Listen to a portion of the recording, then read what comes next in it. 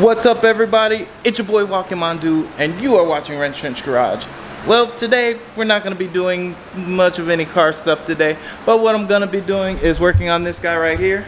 Yeah guys so this is my Husky air compressor and basically it hasn't been building any pressure for a little while now.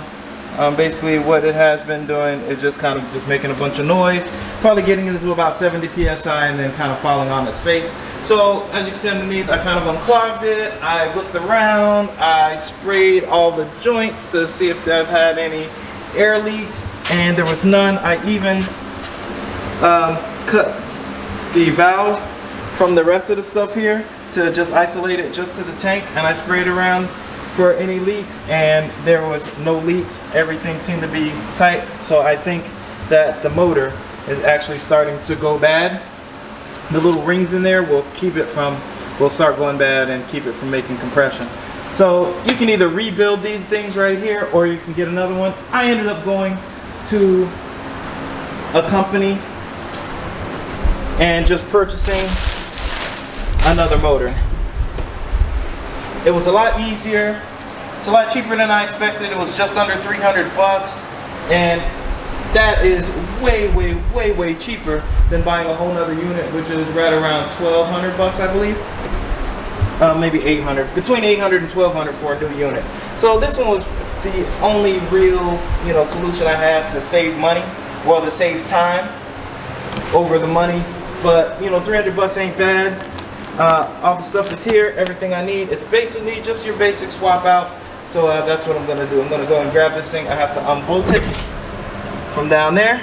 Take the little bolts out and we'll take this out of the box and we're gonna go ahead and start installing this thing.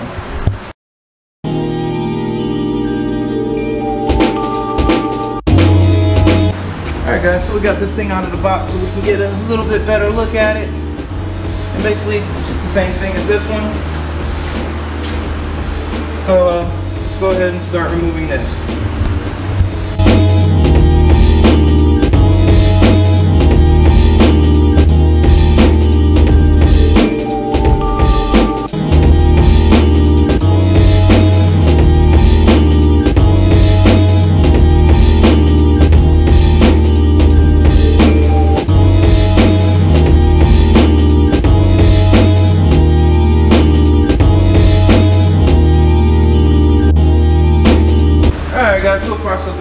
So bad.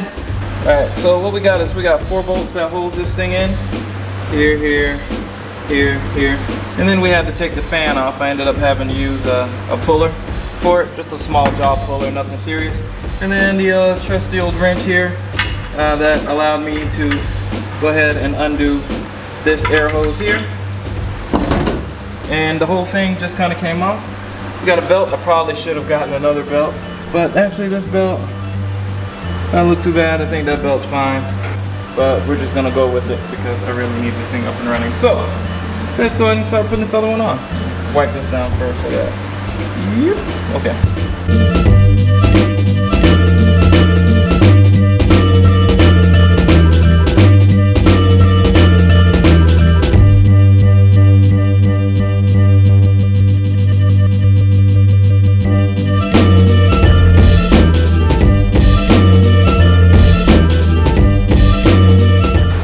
Okay guys, so I ran into my first little issue here. So you, if you slide the nut up here, as you see, it does not connect to the threads right here. Those threads aren't working. There's a compression fitting there. What I'm gonna do is I'll go ahead and cut that off because I think there's still some room that I can use. Now, it, they were nice enough to provide another nut, which is great. I'm glad they did that. And it's weird because this hose, doesn't leak, but it is loose. So that's probably something I'm gonna have to mess with.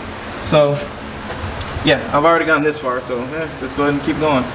So uh, uh, I actually found out this is, uh, it's, it's called a compression nut. So I guess as it goes on, it's tightened up. So this thing is tightened on, I pulled on it, and this thing is really, really tight. And you know what, it was a little bit loose back there. Even though it wasn't leaking, it was still loose. So I tightened that up and it became just that much better. So yeah, went ahead and tightened all that up. Now what I'm gonna do, so these are just some little 10 millimeter nuts right here. And basically what they do is they hold on this little cage assembly. So I'm just gonna throw that on. Okay guys, so one thing that I got hung up on that I wanted to show you is getting the belt on correctly. So this is your belt and I have it on. But basically what you have to do, you have to remove these bolts here and then loosen these here. So that way you can put the belt on the large pulley here and as it goes down to that pulley you can push up on this motor. You see that? And as you do the belt loosens so you can put it on. So you put it on the big pulley first you lift your motor and then you can slide it on this side and then you will get your belt tension. Then you just kind of draw it on to whatever foot pounds is necessary. I gotta find out what that is and then you can put your bolts in here. Alright guys so this thing is finally on it's finally together. And uh, the hardest part was kind of lining these bolts up after putting this belt on the correct way. So after all of that was done the belts on I had to actually sit here and line these up little by little pull and tug and do some weird stuff to get this thing to line up but after you put the bolts in, you got to tighten them to 130 to 180 inch pounds. And after you do that, you got to make sure that your belt is on pretty darn straight up to a 1 16th as close uh, you know no more than 1 16th off from each other. And uh, I believe I got that. And uh, so basically you just tighten this little half inch bolt right here until you get it right with the deflection and everything here. So it seems like we're okay. I do have everything tightened here, but I'm not gonna put the back part of it on just yet. I know not to put my fingers in there, I'm not a kid. So tomorrow, I gotta go to the store and grab some oil and put fresh oil in here. And uh, we'll go ahead and run it tomorrow. Hey, what's up guys? It is the following day and I'm just getting started a little bit late today. Had to run a bunch of errands, bunch of things need to get done but we are gonna go ahead and finish up what we started yesterday, which is this right here. I ended up making sure everything was put in. I made sure, now this has a bit of a wobble to it. See, right down there. So we're gonna tighten this thing up just a little bit more just to make sure it's not all wobbly anymore. So yeah, so I went ahead and got some regular old air compressor oil uh, just for the break-in and if I want to go for synthetic I'll probably go a little bit later on after it's all broken in but we're gonna use this stuff. We're gonna throw some in there and I'm gonna tighten up that little hose and we're gonna run it for about 30 minutes with no load on it which means not building any pressure and just letting it run for a little while so it can break in. So that's where we're gonna go now. Alright guys so it took just uh, about two and a half bottles or so that's like two just a little more than two bottles to fill that thing up right there. So basically you just fill it to the top of that little red dot. I ran it for a few seconds and it pulled it down a little bit and then I went ahead and topped it back off again. But uh, yeah, it's actually even a lot quieter now. So yeah, let's go ahead and let it run for a second. Hey, what's up guys? It is the following day and I have yesterday I ended up running the compressor for a good 30 minutes without any load. Uh, broke in the motor, made sure the oil level and everything was correct, and came out today. Ended up having to cut the grass. Um, I ended up doing the brakes and the oil change for the Scion last night as well. I didn't record it. There was no need.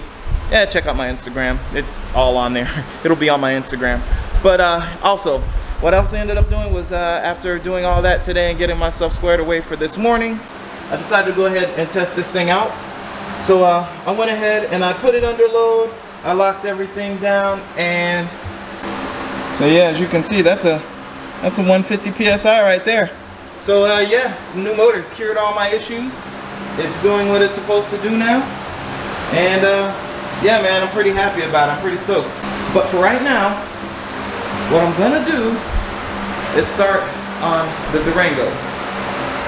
So this thing is gonna get it fixed today. But unfortunately guys, you guys aren't gonna see that until the next video. So thank you guys for watching. I appreciate it. And don't forget to like, subscribe, and comment. Don't forget about the Zazzle store if you want some of this, some of the, some of my great wrench trench, uh, state of the art uh, uh, uh, fashion fashion uh, attire, you can go to Zazzle.com and grab some of that. But thanks again, guys. You guys keep wrenching. Wrench Trench out.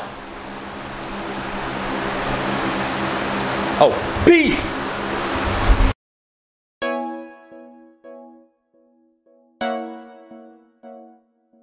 Now I remember your smile.